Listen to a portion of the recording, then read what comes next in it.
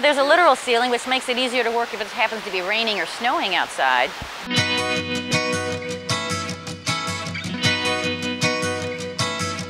And the purpose of it is uh, twofold. One, to let more light down to the lower part of the forest floor, and another thing too is to uh, get it away from the dome. Most of these trees want to be, you know, 80 or 100 foot in the in the wild, and we only have a maximum of 75 foot.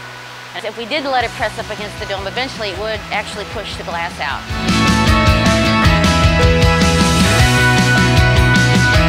Some of the trees in the, in the climatron being so tall and so thin in uh, structure, it's difficult for us to, to actually get a climber into the tree to, to actually do the work. So we'll use a, a lift to uh, make access and make work uh, easier, more efficient.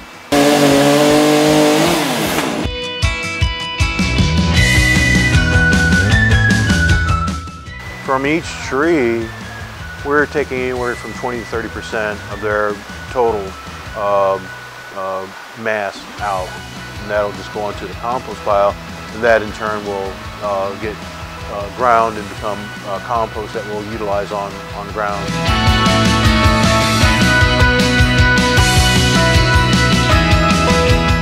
To allow the, these larger trees to continue to grow, the, they would totally shade the whole climatron because they would just keep going, spreading out. And yeah, this low light, the light level would be cut down so low that nothing could grow under them.